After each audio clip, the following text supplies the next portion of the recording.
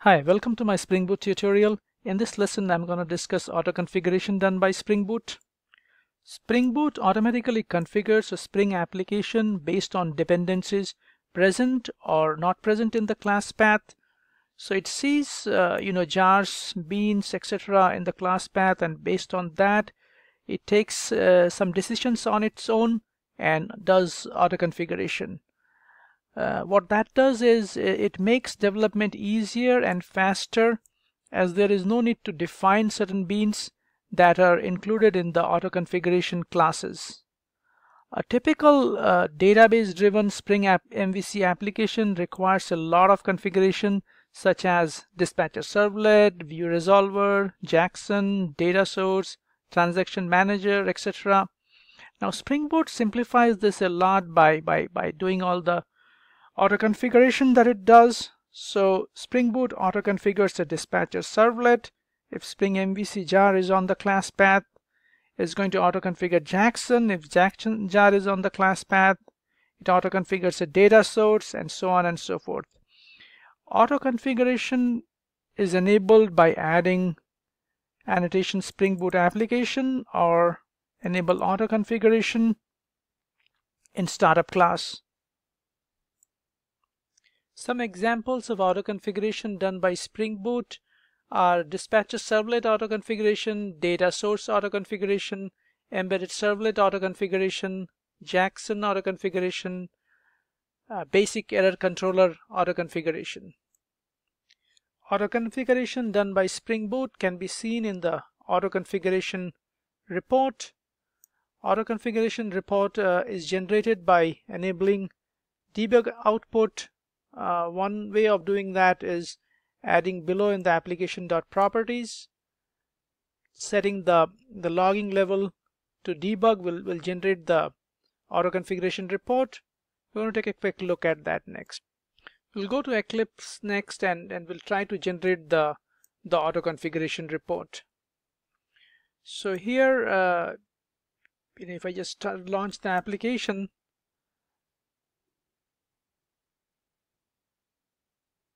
So by default, it, it does not uh, you know generate the, the auto configuration report as you can see here. But if I go and um, in the application.properties, if I add uh, this property logging level org Spring framework equals debug, then you'll see that it's going to generate the auto configuration report. So it's automatically restarting because I have DevTools and we'll look into DevTools later on and it makes it very easy because it automatically restarts the application every time anytime a change is made. But let's look at the the console and we're going to search for auto configuration report. And as you can see it it generated the the auto configuration report.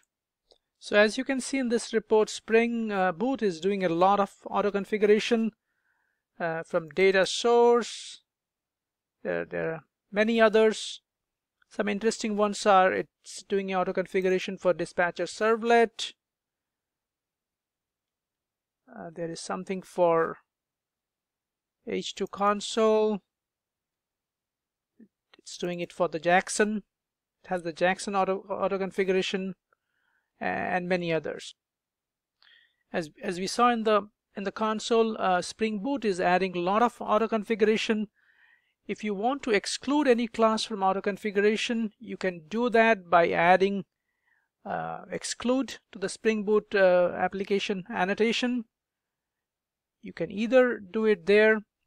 Uh, it takes a array of auto configuration classes. You could specify you know something like Jackson auto configuration class. If you don't need JMX, you can add that. So you can specify a comma delimited uh, set of auto configuration classes that you would like to exclude from auto configuration. You can also do that by by adding uh, this in the application.properties. So you could specify spring config auto configure exclude and specify the class name of the auto configuration class. As we can see in the auto configuration report, Spring Boot has added auto configuration for Jackson, Jackson auto configuration is matched. Now if you if you're not going to use Jackson in your application you can uh, exclude Jackson auto configuration. The way we can do it is by I'm going to uncomment this line. So in the Spring Boot uh, annotation application uh, have added exclude uh, Jackson auto configuration. So I'm just going to save this uh, startup class and that would uh, you know restart the Spring Boot application and it, it does that very quickly. We're going to talk about you know how it does that so quickly later. But for now, uh, if I search for Jackson auto configuration in the report, so so now you see that this this has been excluded from auto configuration. And if I again comment that line, save it, So now it's going to add back the, the auto configuration. We'll see that in the auto configuration reports. It, Jackson auto configuration has been added back. As I was saying, another way to do it will be by adding an exclude in the application dot properties. So if I uncomment this line to add uh, spring auto configure dot exclude in the application dot properties, so next it's going to exclude the Jackson auto configuration. Let me go ahead and save this. So again, just saving the application dot properties restarts Spring Boot. And if we again search for Jackson auto configuration, you can see that it has been excluded from auto configuration. So the question comes to mind, why exclude classes from auto configuration? Uh, the reason for that is as you saw uh, Spring Boot is auto configuring a lot of classes so for faster you know startup and better performance you may need to exclude some classes from auto configuration however for most application unless there is a performance issue it's better to leave Spring Boot auto configuration as is. Uh, that way you know it doesn't affect the performance that much and everything uh, you know it's going to be configured and it's going to run without without any issues. Next uh, let's look at the different sections in the auto configuration report. It has four sections. Uh, they are positive matches which shows all the uh, you know, classes that were matched and based on that auto configuration was added Negative matches is something that did not match, so configuration was not added. Exclusion, as we saw, are the classes that we excluded from auto configuration, and unconditional classes are configuration that that Spring Boot has to add. So something like you know property placeholder auto configuration that that needs to be there. Uh, next, we are going to dig a little deeper into how Spring Boot is adding some auto configuration based on jars in the class path. So dispatcher auto servlet dispatcher servlet auto configuration is added because uh, Spring Boot found dispatcher servlet in the class path. This class was in the class path because we added the starter web dependency uh, which uh, because of which the MVC jars were added and this class was present in the class path so uh, Spring Boot added this auto configuration. And because this auto configuration was added automatically, we did not, you know, have to do anything for for configuring the dispatcher servlet. Uh, we can remove the the dispatcher servlet auto configuration by adding an exclude, but uh, that will uh, prevent the application, you know, from working because dispatcher servlet will not be configured. As you can see in the console, the dispatcher servlet auto configuration was added by Spring Boot because it found this dispatcher servlet class in the class path. And because this was added, so if we look at this hello world controller, it works because the dispatcher servlet is, is configured to handle the request. So now if we go and and exclude uh, dispatcher servlet or by adding it to the uh, to the exclude so if I simply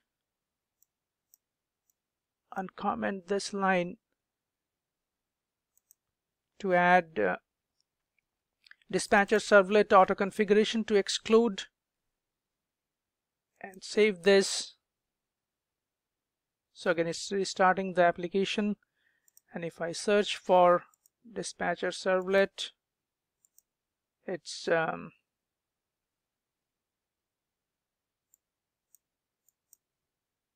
so I'm going to find it now.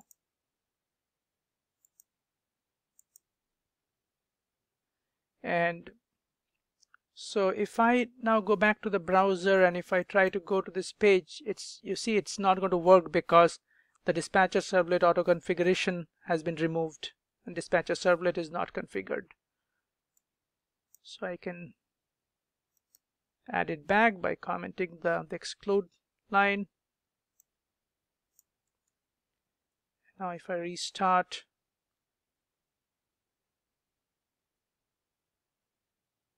the rest the hello world rest controller is going to work again.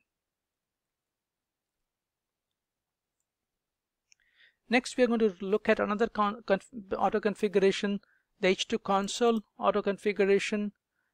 This was added uh, because uh, we are using h2 database. You know we added the h2 database dependency in, in the pom file. And because of that uh, spring boot found uh, web servlet h2 web servlet in the class path. And and because it found that it added the h2 console auto configuration. And because this auto configuration has been added we get to use uh, the h2 console from the browser. So we can you know browse the h2 database. So from this console I can click on connect to connect to the H2 database and I can look at you know the tables that I have in this database. So so that's a lot of feature that just comes out of the box. Next we're going to look at how Spring Boot is doing all the auto configuration under the hood. It uses conditional configuration. Spring Boot introduced several conditional annotations based on condition interface. Uh, some of these annotations are condition on class condition on missing class condition conditional on bean conditional on missing bean conditional on property. It uses this annotation to to do all the uh, auto configuration conditional on class for example uh, does it if it finds a class in the class path on missing class is something opposite of that. Conditional on missing bean is if a bean is not only already configured Spring Boot is going to auto configure that. And then uh, it can do also auto configuration based on uh, on a property present. Next we're going to look at how to create a custom auto configuration so I have this uh, video to GIF auto configuration uh, any custom auto configuration class should have be annotated with configuration. At condition on class is used to check whether these classes are present in the class path at condition on property uh, is used to create a output directory if a property with this prefix and this name is present in application.properties at conditional on missing bean is used to automatically configure a bean if it's not already present. And Finally, uh, for Spring Boot to pick up uh, this custom auto configuration, we need to create a META-INF spring.factories file and add below so that Spring Boot will mm, pick this custom you know auto configuration class. Uh, please visit my site prudentstream.com to get all the notes and thank you for watching this lesson.